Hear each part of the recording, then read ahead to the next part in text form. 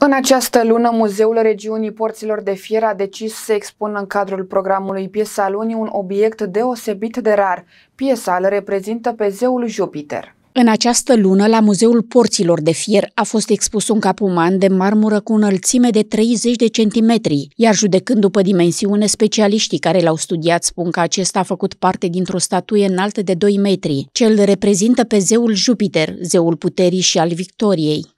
Cultul lui Jupiter Dolihenus a pătruns în Imperiul Roman pe cale militară și comercială, asta întâmplându-se la începutul secolului al II-lea după Hristos și a fost activ până la mijlocul secolului al III-lea. Se știe că în Imperiul Roman religia a jucat un rol important, romanii considerând că fiecare moment al existenței lor este condiționat de puteri divine care domină totul.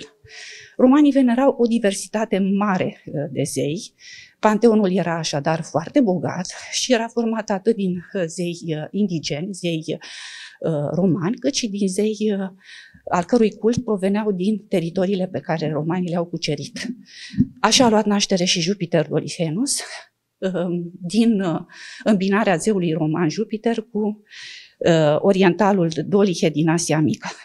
Prezența unei statui de dimensiuni mari indică existența unui sanctuar al lui Jupiter Dolihenus la Drobeta. Acesta a fost ocrotitorul soldaților și al comercianților. Soldații îl venerau pentru a le asigura victorie în bătălii, iar comercianții pentru a le aduce succes în afaceri.